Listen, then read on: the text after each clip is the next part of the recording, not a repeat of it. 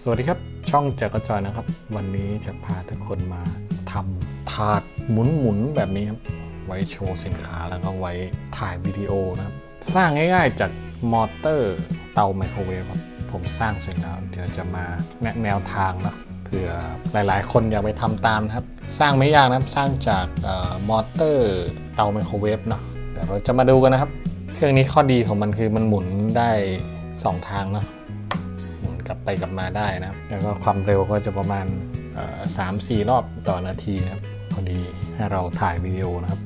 ตัวอย่างวิดีโอที่ได้จากแท่นนี้ก็จะประมาณนี้นะครับก็อยู่ที่ว่าเราจะจัดเสียงให้เป็นยังไงด้วยนะนะครับ เสียงในการทำงานก็ค่อนข้างเงียบเนาะเดี๋ยวเรามาดูส่วนประกอบกันนะครับว่ามันประกอบจากอะไรบ้างนะครับ สร้างไม่ยากนะครับ หลายๆ คนเห็นก็เริ่มจะพอรู้แล้วว่าสร้างมาจากวัสดุเหลือใช้ทั้งหมดเลยนะครับ ส่วนประกอบของเครื่องนี้ปิดเครื่องตัวนี้นะตัวนี้เป็นฝาหม้อหุงข้าวนะตัวนี้คือจานรองกระถางตัวนี้คือแผ่นดิสก์แผ่นจากจานฮาร์ดดิสก์นะครับ ติดกันด้วยกาวเรามาดูตัวเครื่องครับ ตรงนี้ก็จะเป็นแกนหมุนของไมโครเวฟนะครับ แกนไมโครเวฟครับตัวนี้ มาดูจุดสำคัญเนาะก็จะมีตัวนี้มอเตอร์ ตัวที่อยู่ข้างในนี่ก็คือมอเตอร์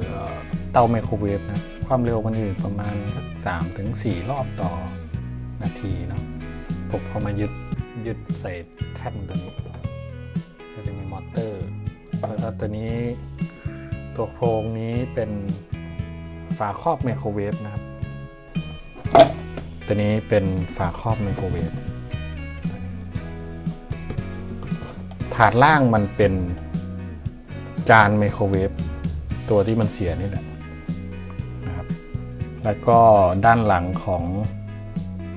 มอเตอร์ผมจะติดฮีทซิงค์ไว้ตัวหนึ่งนะครับ ไม่แน่ใจว่ามองเห็นไหมประมาณนี้ครับแปะฮีทซิงค์ไว้ด้านหลังมัน ช่องตัวนี้ก็จะมี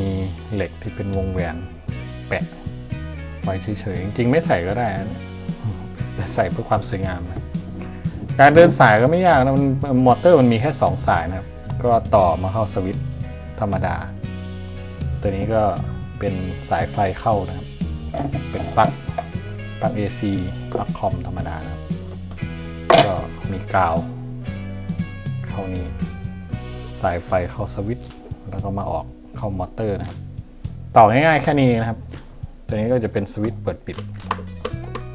ถ้าใครไม่มีสวิตช์ก็ต่อตรงเลยก็ได้นะ ก็เสียบปลั๊กก็เครื่องมันก็ทำงานได้เลยอะไรเงี้ย แต่ผมก็ใส่ใส่ฟิลก่อนเข้าสวิตช์ไว้ด้วย ลองเสียบปลั๊กเปิดให้ดูครับ เครื่องมันก็จะหมุนประมาณเนี้ย หมุนช้าช้านะเสียงมอเตอร์จะดังเบาๆอยู่ มันเป็นเหมือนเสียงเฟือง ไม่แน่ใจว่าเป็นเพราะว่ามันเก่าแล้วหรือเปล่านะครับ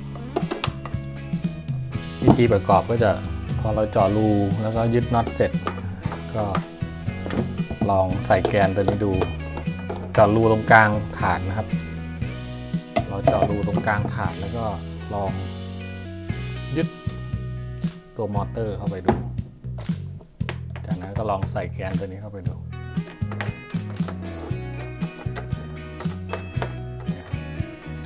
ก็จะอยู่ประมาณนี้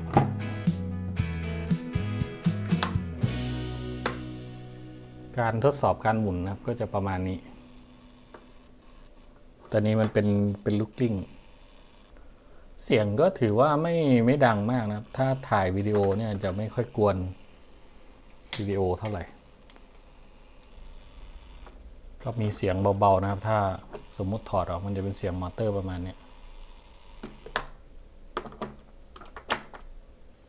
การหมุนเหมือนพอปิดสวิตช์ มันจะหมุนกลับด้านนะครับ เปิดอีกครั้งหนึ่ง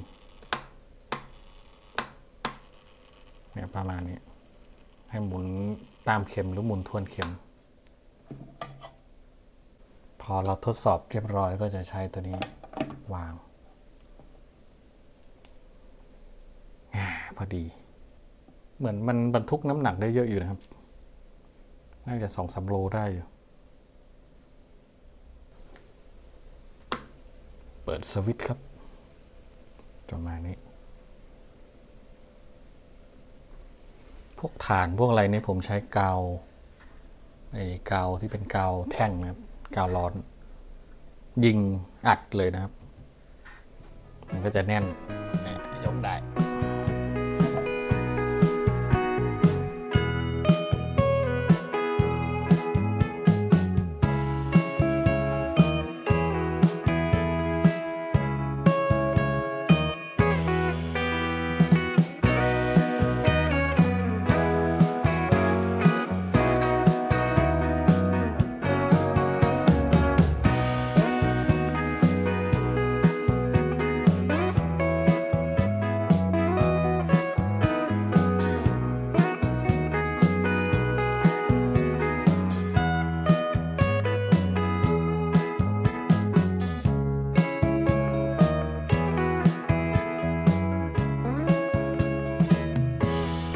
ครับก็